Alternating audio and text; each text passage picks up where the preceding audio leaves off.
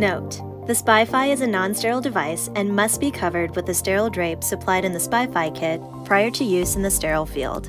The SPY-PHI is shown undraped in this video so that the buttons are clearly visible. Once the SPY-PHI is plugged in and the VPI is powered on, the sterile operator has complete control from the sterile field. When ready to image, press the green illumination button to turn on the light source. The default display is overlay mode. To focus the image, hold the SPY-PHI 10 to 40 centimeters from the tissue. While viewing the image on the monitor, press and hold one focus button at a time until a sharp and focused image is achieved. An animated focus adjustment icon is displayed on the screen when either focus button is pressed.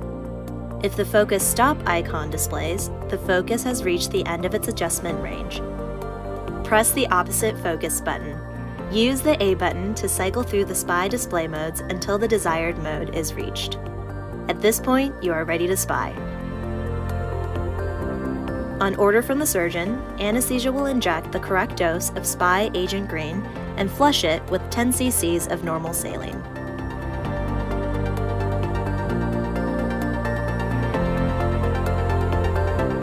SPY-PHI offers three high-definition fluorescence display modes, which can be identified by the icons in the top right corner of the screen.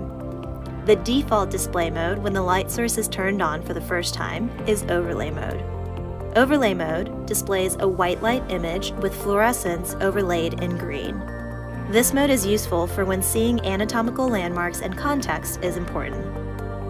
In SPY color segmented fluorescence mode, a white light image is displayed in grayscale with fluorescence overlaid in a color scale. Increasing fluorescence levels transition from blue to yellow to red, where blue is the lowest intensity and red is the highest. A color legend is provided on the right side of the screen. SPY mode is a pure fluorescence image that is displayed in grayscale. This mode shows the greatest contrast and detail.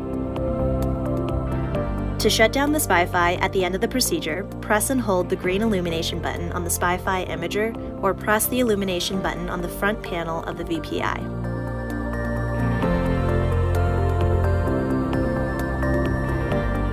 The Tools menu provides additional functions at any time during imaging.